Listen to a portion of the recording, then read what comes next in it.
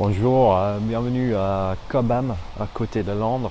Euh, le- L'endroit où j'ai euh, j'ai pas mal grandi. Je voulais tourner une petite vidéo pour vous raconter un peu mon week-end, faire un petit débrief. Il y a beaucoup de vent. Bienvenue en Angleterre. J'espère que vous m'entendez bien. J'ai fait au mieux pour trouver un endroit un peu isolé du vent. Par contre, derrière moi, vous voyez là où j'ai euh, j'ai appris à jouer au foot pour la première fois avec mon grand-père. Euh, je fais un peu tourner pour avoir les images. C'est un beau lieu. Euh, on n'est pas loin de Londres, une petite euh, quinzaine ou vingtaine de kilomètres au sud de Londres. Alors, ici, c'était juste pour raconter une histoire par rapport à mon grand-père qui malheureusement n'est plus ici, n'est plus avec nous. Il est mort il y a quelques années. Mais à ma grand-mère qui habite juste à côté de la maison que vous voyez derrière moi. En fait, euh, c'est une histoire dont je parlais avec ma grand-mère. Elle ne voulait pas euh, passer à l'écran, c'est dommage parce que j'aurais bien fait une petite interview avec elle. Mais en fait, c'était l'histoire de, la rencontre entre mon grand-père et ma, grand-mère qui était mariée pendant cinquantaine d'années euh, avant sa mort. Euh, c'est l'une des plus belles histoires d'amour que je connais. Mais en fait, c'est pour raconter la rencontre, parce qu'en fait, tout, le- tout monde me dit que voilà, euh, rencontrer des gens, euh, c'est difficile, euh, il faut aborder, il faut beaucoup de courage. Je ne sais pas comment faire, je trouve ça trop difficile d'aller aborder un inconnu. certes, si une femme est au travail, je ne sais pas. Et on a tendance de nos jours à aller vers les applis que je n'ai jamais fait, je, ne, je ne ferai jamais, je refuse de le faire. Je préfère rencontrer des gens face à face. Et euh, en fait, euh, on a fait un tournage pour France 2. Et euh, en fait, tout le monde me, disait, ouais, c'est marrant parce qu'au début du reportage, il y avait des, personnes d'une certaine âge, disons la cinquantaine, qui ont dit non, je trouve que ça se fait pas d'aborder des gens dans la rue comme ça ou d'aborder des gens avec une approche froide comme ça, ça se fait pas. Mais en fait, ce que j'ai trouvé marrant, c'est que à l'époque, comment ils faisaient pour se rencontrer, enfin, des gens. Euh, les rencontres, ça se faisait euh, justement par ça, parce qu'il n'y avait pas d'appli, il n'y avait pas de téléphone, il n'y avait, rien. Il fallait juste aller aborder des gens. Il fallait, aller parler aux gens. C'était un réflexe plutôt. Donc je trouve ça bizarre que ces, personnes de cet âge-là n'ont pas- n'avaient pas euh, l'impression que ce soit une bonne chose à faire.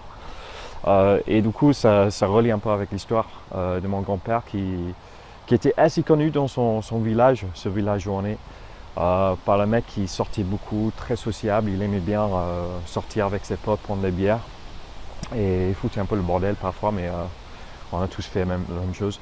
Respect. et en fait, ma grand-mère, elle a une seule jumelle. Elles sont, et elles étaient assez connues parce qu'elles étaient de, très belles filles euh, dans le village.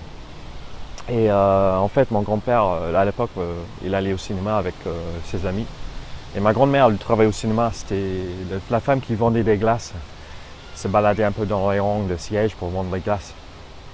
Étant une très belle fille, euh, un peu connue aussi, euh, mon grand-père, en fait, il a, l'a abordé. À la fin du film, euh, il a demandé de sortir avec lui. Et les choses marrantes, c'est qu'en fait, ma grand-mère a refusé de sortir avec lui.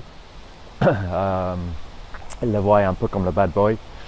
Et euh, venant d'une bonne famille, euh, c'était un peu en fait. Elle voulait sortir avec un mec bien. Euh, finalement, mon grand-père c'était un mec bien, mais euh, en fait, euh, elle voyait que c'était un peu bad boy. Elle aimait bien sortir, essayer de draguer des filles. Et finalement, chose marrante, c'est que mon grand-père, quelques mois plus tard, il a été en rendez-vous avec sa sœur jumelle. Et en fait, c'est à ce moment-là où ça n'a pas pu marcher avec elle. Finalement, mon grand-père est un grand malin. Euh, sûrement avoir un, type physique qui lui convenait beaucoup. Et il a finalement euh, pu euh, choper ma grand-mère.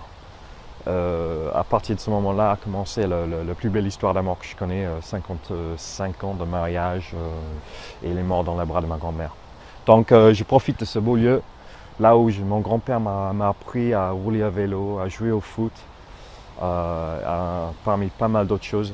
Là où j'ai passé pas mal de mon enfance ici, pour rendre hommage à mon grand-père en racontant son histoire d'amour avec ma grand-mère, euh, qui est toujours là à chaque fois que je la vois. euh, on parle justement de ce- cette belle rencontre et du courage de mon grand-père pour aller aborder euh, ma grand-mère qui était au travail, même s'il a dit non, et même s'il a eu un râteau, le mec n'a pas, renoncé à son rêve.